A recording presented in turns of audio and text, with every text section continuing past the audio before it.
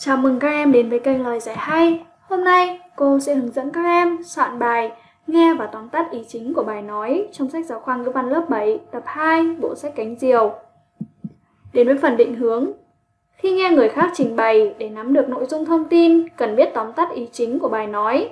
Cũng giống như bản tóm tắt một văn bản viết, bản tóm tắt một bài nói có thể có độ dài khác nhau, nhưng cần nêu lại được những ý chính của bài nói ấy. Muốn tóm tắt ý chính của bài nói thì các em cần tập trung nghe nội dung của bài nói, ghi lại các ý chính của bài nói theo hệ thống, ý lớn, ý nhỏ, các bằng chứng hay ví dụ minh họa. Tùy theo yêu cầu về độ dài của bản tóm tắt để lựa chọn các ý chính của bài nói và trình bày bản tóm tắt cho phù hợp. Tiếp theo đến phần thực hành.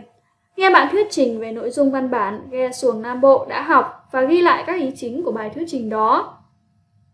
Các em xem lại văn bản và chú ý hướng dẫn để nắm được cách tóm tắt ý chính khi nghe. Cô gợi ý các em có thể tóm tắt như sau. Một là sự đa dạng của các loại xuồng và đặc điểm của từng loại. Các loại phổ biến như xuồng ba lá, xuồng năm lá, tam bản, xuồng vỏ gòn, xuồng độc mộc, xuồng máy. Xuồng ba lá thì dài trung bình 4 m, rộng 1 m, sức chở từ 4 đến 6 người. Xuồng tam bản giống như ghe câu nhưng lớn hơn, có 4 bơi chèo, dùng để chuyên chở nhẹ. Xuồng vỏ gòn thì giống vỏ trái gòn, kích thước nhỏ, kết cấu đơn giản, kiểu dáng gọn nhẹ, chủ yếu để đi lại, chuyên chở, trao đổi và buôn bán. Xuồng độc mộc, ghe lườn, do người Khmer làm bằng cách chẻ dọc thân cây thốt nốt, khuyết rỗng ruột hoặc mua xuồng độc mộc thân gỗ sao, xến ở Campuchia và Lào. Xuồng gắn máy nổ và chân vịt như xuồng máy đuôi tôm là loại phương tiện rất cơ động, phổ biến ở vùng sông nước. Hai là sự đa dạng của các loại ghe và đặc điểm của từng loại. Ghe dùng để vận chuyển hàng hóa thường là những chiếc ghe có kích thước lớn, sức chở nặng và đi được đường dài.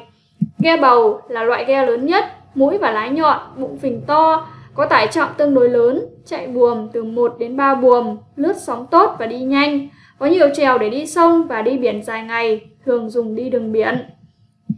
Ghe lồng hay ghe bản lồng Loại ghe lớn, đầu mũi dài, có mui che mưa nắng, lòng ghe được ngăn thành từng khoang nhỏ để chứa các loại hàng hóa khác nhau. Loại ghe này dùng vận chuyển hàng hóa đi dọc bờ biển. Ghe trài thì to và chở được nhiều nhất, có mui rất kiên cố, gồm nhiều mảnh gỗ ghép lại và có hai tầng. Tiếp đến, ghe cào tôm thì ở đầu mũi dài và khá phẳng, có bánh lái gặp bên hông, dáng nhỏ, Loại ghe này thường dùng cào tôm vào ban đêm. Ghe ngo là loại ghe có nhiều màu sắc của dân tộc Khmer, thường dùng trong bơi đua trong các lễ hội. Ghe thì làm bằng cây sao, dài 10 mét trở lên. Ghe không mui ở đầu mũi chạm hình rồng, rắn, phụng, lân hoặc voi, sư tử, ó biển. Ghe hầu thì dành cho cai tổng, chi phủ, chi huyện. Ban đêm ghe thắp sáng để báo hiệu cho biết là ghe của quan. Ngoài ra thì ở mỗi địa phương cũng có những loại ghe phù hợp với điều kiện sông nước và nhu cầu sản xuất đi lại trong vùng. Một số loại ghe có tiếng như ghe câu Phú Quốc ở Kiên Giang có buồm, có 5 cặp chèo dùng để đánh bắt thủy sản. Ghe cửa Bà Rịa chuyên chở thủy sản. Ghe lưới rừng Phước Hải, Long Đất Bà Rịa Vũng Tàu dùng đánh bắt thủy sản. Ghe cửa Đại thì dùng đánh bắt trên biển, chuyên chở hàng hóa đi biển hoặc trên các con sông lớn.